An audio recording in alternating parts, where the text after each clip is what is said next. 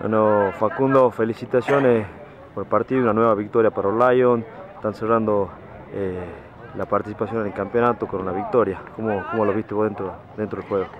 La verdad que este, lo he visto muy bien, por momentos este, hemos decaído un poco, ¿no? Yo creo que, que nos viene pasando esto, la segunda ronda del campeonato.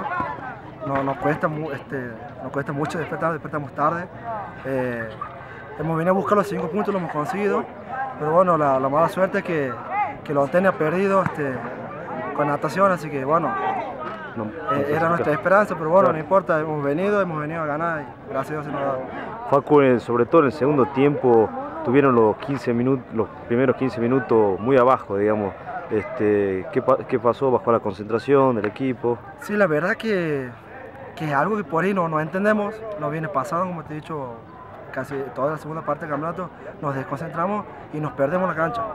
Y, y después, hoy, gracias a Dios, hemos tenido tiempo de revertir. Pero hay momentos, partidos que, que nos pasa lo mismo, ¿no? Y, y, por eso perdemos muchas veces. ¿Cómo lo veo al equipo? ¿Cómo, cómo están los muchachos? La verdad que lo veo muy bien. Eh, siempre bueno este, terminar ganando, ¿no? A pesar de, de, de, de cómo hemos terminado pero la verdad lo veo bien, este, muy este, metido para, para empezar, nos vemos la hora que empiece el año que viene, para empezar el campeonato del, del top 14. Y, no, muy comprometido, muy comprometido, gracias. Bueno, felicitaciones y éxito para Lions. Muchas gracias, muchas gracias a ustedes.